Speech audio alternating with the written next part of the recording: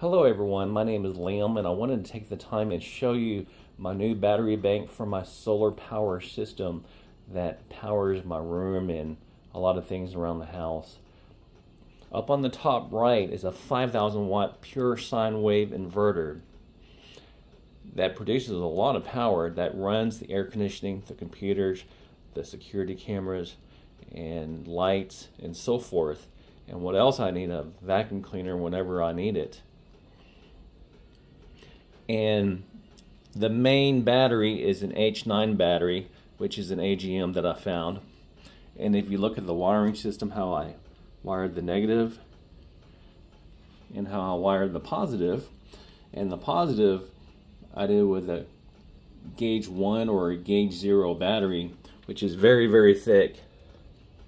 And if you look back here, then you can see that the wires are secured in a and I made it in a very unique way. And also, if you look at the negative for the lower batteries, that is just one single wire.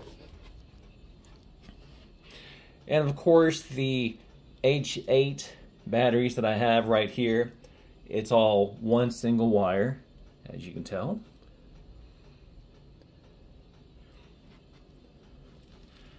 And here are the reserve batteries which I connected three batteries.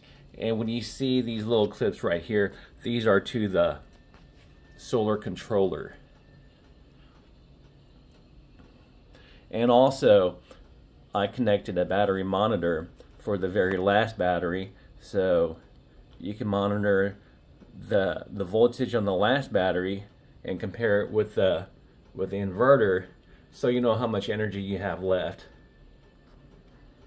and also down below is a is a battery maintainer. And it really does help a lot especially especially when there's no sunlight or so.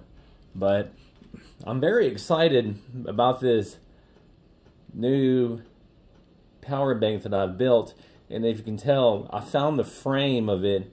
I was very lucky. I found it on Facebook for $25 and it was full steel. So pretty excited about that Took a lot of time to make it, but let me know what you think. Thanks for watching.